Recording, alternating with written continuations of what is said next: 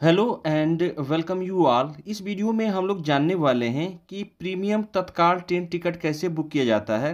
क्या प्रीमियम तत्काल train ticket सभी ट्रेन्स में उपलब्ध होता है? टिकट बुक करने से पहले आपको मैं कुछ ज़रूरी बातें बता दूँ कि जो प्रीमियम तत्काल टिकट बुकिंग का टाइम होता है, वो बिल्कुल तत्काल ट्रेन टिकट बुकिंग का ही टाइम होता है। यानी एसी क्लास के लिए, जैसे AC first class AC second class या एसी थर्ड क्लास के लिए बुकिंग दिन के दस बजे से शुरू होता है, जबकि नॉन एसी क्लास जैसे स्लीपर क्लास के लिए बुकिंग दिन के ग्यारह बजे से प्रारंभ होता है। एक बात और, कुछ लोगों को ये भ्रम होता है कि जो प्रीमियम तत्काल टिकट होता है, उसमें कुछ एक्स्ट्रा फैसिलिटी मिलता है। तो दोस्तों, ऐसा कुछ भी नहीं है। बिल्कुल जैसे आपका तत्काल टिकट है या जो सामान्य टिकट है, वही टिकट होता है, वही ट्रेनें होती हैं और वही सीट और बर्थ उपलब्ध होते हैं।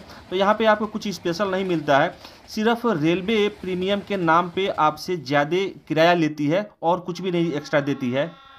प्रीमियम तत्काल टिकट सिर्फ़ इमरजेंसी स्थिति में ही बुक करना चाहिए, क्योंकि दोस्तों इसका जो किराया होता है, वो डायनेमिक होता है, यानी जैसे जैसे सीटें कम होती जाती है वैसे वैसे इसका किराया भी बढ़ता जाता है।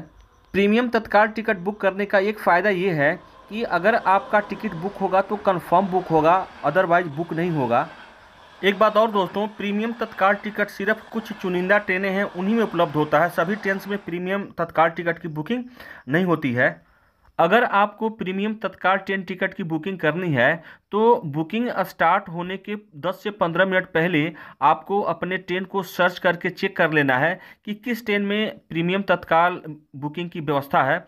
और जब बुकिंग स्टार्ट हो तो आपको जल्दी से बुक करने की कोशिश करनी है। ये सब कुछ मैं आगे वीडियो में आपको लाइव करके दिखाने वाला हूँ। I R C T C rail connect app को ओपन करना है। ओपन करने के बाद से दाहिने तरफ़ ऊपर कोने में यहाँ आपको लॉगिन का ऑप्शन है। आपको यहाँ लॉगिन पे क्लिक करना है। और क्लिक करने के बाद से दोस्तों आपको लॉगिन हो जाना है। दोस्तों, अगर अब तक आपने आईआरसीटीसी का यूज़र आई और पासवर्ड नहीं बनाया है तो आप इसे कैसे बनाएँगे, इस पर मैंने वीडियो बना रखा है।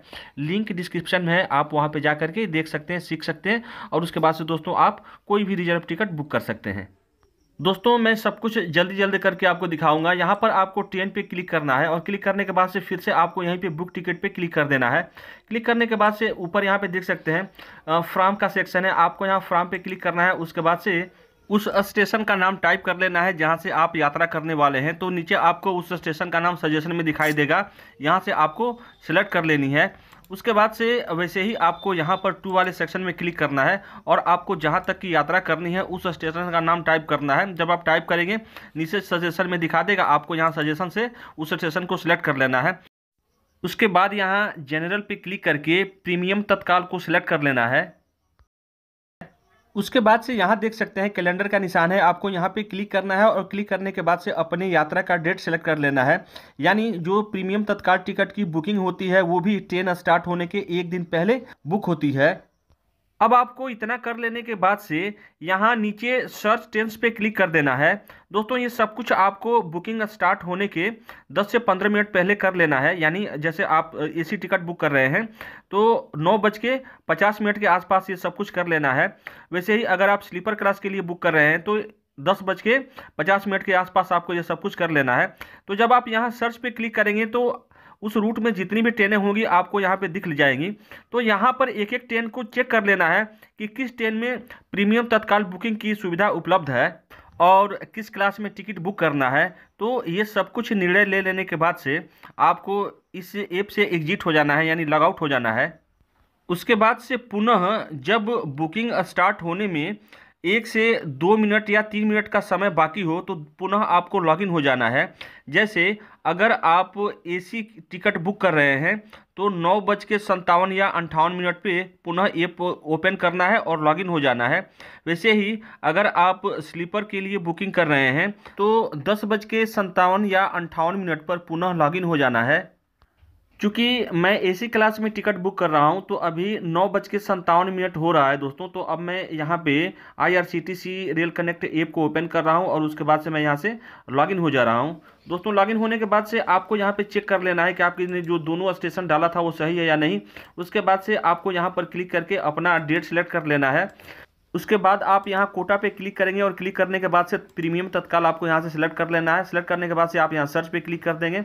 अब यहाँ पर आपको सीधे उस ट्रेन पे जाना है जिस ट्रेन में आप टिकट बुक करने वाले हैं। तो यहाँ से आप जिस क्लास में बुक करना चाहते हैं उसको क्लिक कर लेना है और क्लिक करने के बाद से दोस्तों बुकिंग स्टार्ट होने का वेट करना है। जैसे ही दस बजेगा, यहाँ पे जो टिकट है, वो ग्रीन शो होने लगेगा। तो दोस्तों, यहाँ पे थोड़ा सा आपको रिफ्रेश करते रहना है, यानी जब तक दस नहीं बजता है, आपको बीच बीच में रिफ्रेश करते रहना है कि आप लॉग आउट ना हो जाएँ। उसके बाद से यहाँ पे जैसे ही ग्रीन दिखेगा, आपको यहाँ पैसेंजर डिटेल पर क्लिक कर देनी है। अभी दस बजने वाला है, दोस्तों हम लोग वेट कर लेते हैं कुछ सेकंड तो दोस्तों ये जो सामने गोल गोल घूम रहा है ना तो ये प्रॉब्लम सिर्फ़ आपकी ही प्रॉब्लम नहीं है, ये सबकी प्रॉब्लम है, सबके साथ होता है। लेकिन जिनका मोबाइल फास्ट होता है या नेटवर्क फास्ट होता है तो उनको थोड़ा टिकट बुकिंग में सहूलियत होती है।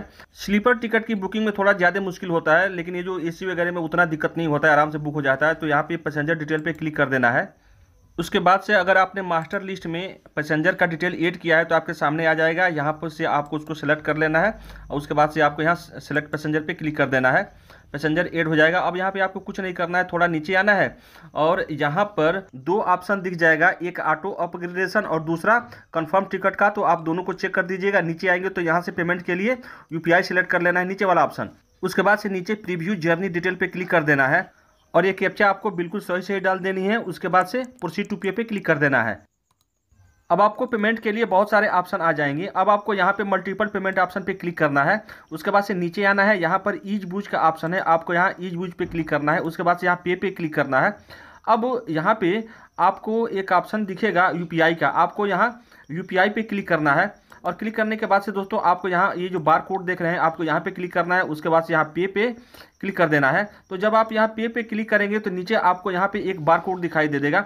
तो अगर आपके पास दूसरा मोबाइल है तो आप इस बार कोड को स्कैन करके तुरंत पेमेंट कर देंगे। अगर आपके पास दूसरा मोबाइल नहीं है तो उसका भी तरीका है, आपको क्या करना है कि इस बार कोड का स्क्रीनशॉट ले लेना है और ले लेने के बाद से आपके मोबाइल में जो भी पेमेंट करने के लिए यूपीआई ऐप है, आपको उसको ओपन करना है।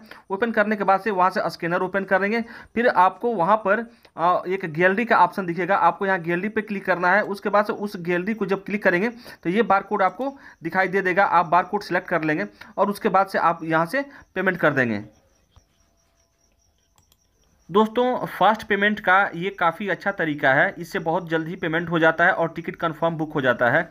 यहाँ पर एक बात ध्यान रखना है कि दूसरे मोबाइल से स्कैन करके आप कितना भी पेमेंट कर सकते हैं, लेकिन स्क्रीनशॉट ले करके आप अधिकतम 2000 तक का ही पेमेंट कर सकते हैं। तो दोस्तों, उम्मीद करता हूँ कि जानकारी अच्छा लगा होगा। आप वीडियो को लाइक सब्सक्राइब और शेयर करना न भूलिएगा। Thank you for watching